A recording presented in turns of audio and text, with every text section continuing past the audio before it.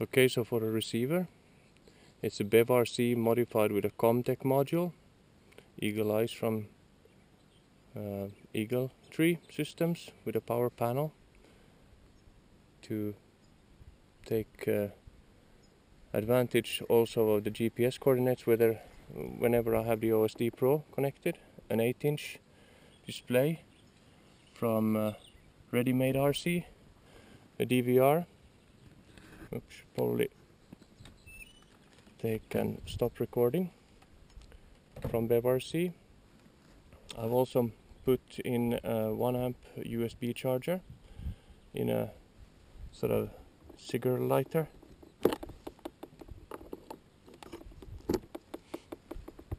There's some uh, panels here for uh, with with uh, automatic fuses. I had a smoke coming out of the system due to a short at one time.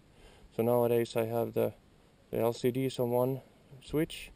I have the receiver and diversity on another one, the USB on a third one, and then for my diversity external helical I have a, a current feed for that one also.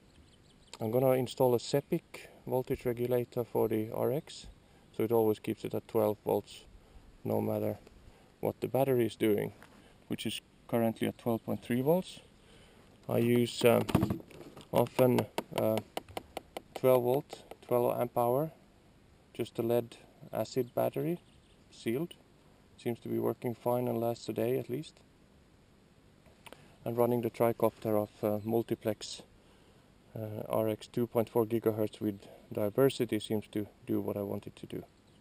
That's all for now. Oh yeah, and the tricopter itself. It's a um, RC Explorer 2.5 version, running off three cells.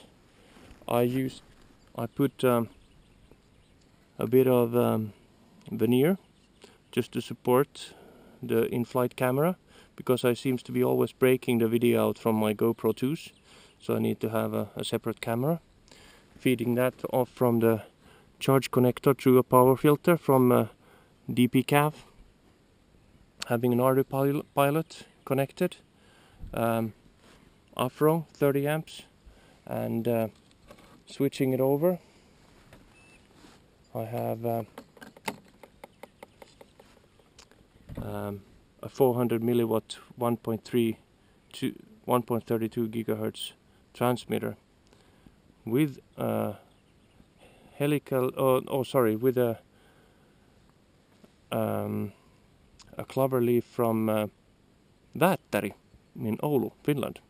Works brilliantly.